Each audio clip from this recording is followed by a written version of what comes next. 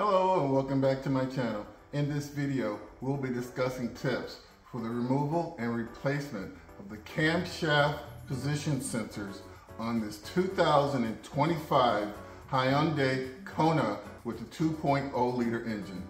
If you find my tips to be helpful, please like, subscribe, and comment. Now let's get started. This is an inline four cylinder engine. You have two camshafts. On this side, you have your intake camshaft, and you know that because it's located closest to the intake manifold, okay? On this side, you have your exhaust camshaft, and you know that because it's located closest to the exhaust manifold, which is located right here, easily identifiable by the O2 sensor sticking out of the manifold. This is the intake camshaft sensor location, and this is the exhaust camshaft sensor location. Some of the symptoms associated with faulty sensors include stalling, no start, misfire, rough idle, and a check engine light with trouble codes P0012, P0013, and P0014. So you might ask, what do these parts do? Well, they work with the crankshaft sensor to define the exact position of the crankshaft cycle. All right, so let's quickly go over our supply list. Our supply list includes two sensors, and I recommend that you change both sensors at the same time because once you go in here and go through the trouble of opening the hood and doing all the work, you might as well just change both sensors because it's likely that they're both going to go bad at the same time. And that's been my experience. Okay? We're going to need a 10 millimeter socket with a 6 inch extension and a ratchet. You may also need to perform an oil change and change out your oil filter. Other items might include a small flat tip screwdriver to unlock the locking mechanism on the electrical connector. Please see other items in the description below. So let's go ahead and move forward with the removal and replacement of the intake camshaft sensor. Both sensors can be removed and installed in the same manner.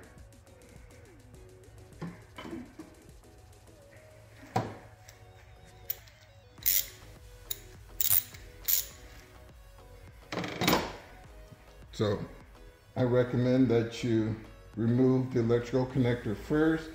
And so you're going to unlock the electrical connector by lifting up on these two little gray tips like that. And then you're gonna squeeze in, push down slightly, and pull up. Okay? Let's attack this 10 millimeter bolt. I did have it loose for demonstration purposes. Careful, this bolt is not very long. Wiggle and lift it straight out. And there you have it. That is your camshaft sensor for the intake camshaft. And so let's just go ahead and inspect it. There's three electrical leads there. I don't see any cracks. Just working from the top down.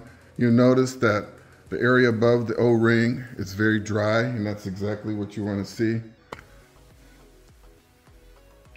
O-ring is very pliable, so just kind of poke at it with your thumb. It shouldn't be dry or brittle, and this one isn't. And at the same time, you want to go look at your, your valve cover and look to see if there's any oil around the camshaft position sensor location. And this one's completely dry as it should be, okay? If there was oil around the place where this is installed, you want to consider replacing the O-ring. You can find like a multi-pack of O-rings on the internet fairly easily or at your local parts store. One thing you might consider is they should be heat and oil resistant. So you could replace the O-ring without replacing the entire sensor. What I do want to recommend that if you take the sensor off and it's coated with oil and the oil is reddish brown or you could tell clearly that there's sludge on here, before replacing the sensor, you should always replace your engine oil and oil filter and then try to reset the check engine light before replacing the sensor, okay? Because it's critical that you maintain your oil in very good condition because it will wreak havoc on these magnetic sensors, okay? And with that, that's really all I wanted to cover. Um, and let's go ahead and get this sensor reinstalled. So we're gonna go straight down, wiggle, push, drop it in place, line up the hole for the bolt, hold on to that bolt very tightly, do not drop it, thread it in, okay?